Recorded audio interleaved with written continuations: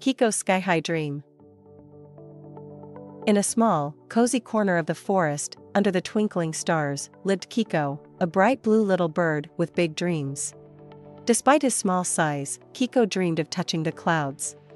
Each night, he would gaze up at the sky, imagining himself soaring high.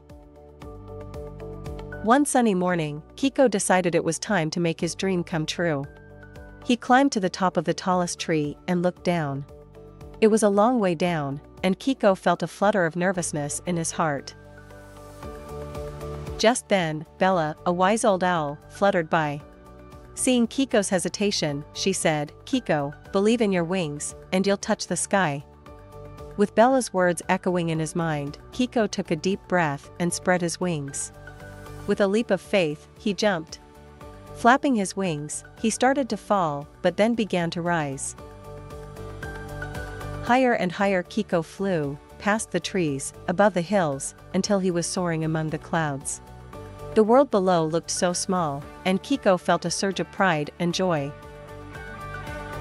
As the sun began to set, painting the sky with hues of orange and pink, Kiko flew back to his nest.